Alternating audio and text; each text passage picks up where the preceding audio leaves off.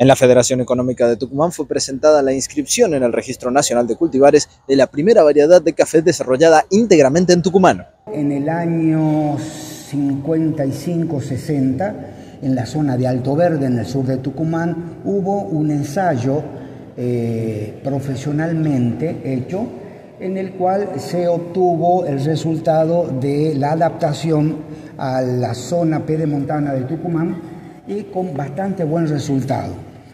Debido a eso, eh, eh, comenzamos a hacer plantas y proveyendo a algunos agricultores de plantas de café. Después de la gran helada que hubo en este año, en 2024, que fue devastadora en muchos cultivos, al café no lo, no, no, no, lo, no lo malogró para nada en el sotobosque. Eh, las plantas están grandes, están floreciendo y ya están dando frutos.